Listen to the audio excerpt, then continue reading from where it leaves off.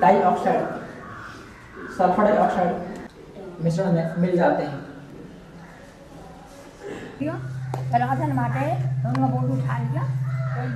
बहुत अच्छा लग रहा है मलाला मलाला यूसुफ जई के इन उनके इस नक्शे कदम पर चलना चाहते हैं और रहाना मैडम की वजह से उनकी हम टीवी भी उनकी फ़िल्म भी देख सकें और मैं गिरफ़्तार लड़कियों को स्कूल में लाती हूँ। इधर मजदूरी कर कर मुझे पढ़ा रहे हैं। मैं टेंथ क्लास में पढ़ रही हूँ।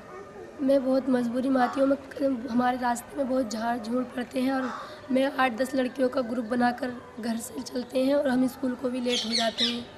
इसलिए हम आठ, बारह लड़कियाँ जो हम एक साथ आते हैं और गिरा तो साइकिल से नहीं थोड़े दिन पहले पैदल आते थे। और जब बाढ़ आ जाती है तो नाव में भी आते हैं कभी कभी पैसे तो नाव में आते नहीं होते तो पानी में निकल के आते हैं ज़्यादातर। परेशानी तो क्या परेशानी तो बहुत सारी हैं, इतनी दूर आने जाने का रास्ता भी ख़राब है। और फिर सर चार बहनें हैं भाई भी कोई नहीं है पापा अकेले हैं पैसे की प्रॉब्लम और फिर जो मतलब गाँव वाले रिश्तेदार भी कहते हैं कि मत पढ़ाओ लड़कियों को लिए सर मैं तो ऑफिसर बनना चाहती हूँ। लेकिन मुझे उससे कुछ मिलेगा तभी तो बनूँगी या मेरे पास पैसे नहीं होते बनूँगी कहाँ से? सर कुछ नहीं बस मेरे लिए तो ये होना चाहिए कि मेरे लिए सबसे बड़ी तो पैसे की प्रॉब्लम है और वो तो कोई प्रॉब्लम नहीं है। मैं थी पढ़ने से पैस, पैसों की वजह से इसलिए मैं रिहाना मैडम ने रिहाना मैडम ने सुना था कि लड़की की पढ़ाई रुक रही थी पैसों की वजह से इसलिए अब मैं कक्षा नाइन्थ में रिहाना मैडम की स्कूल में पढ़ रही हूँ।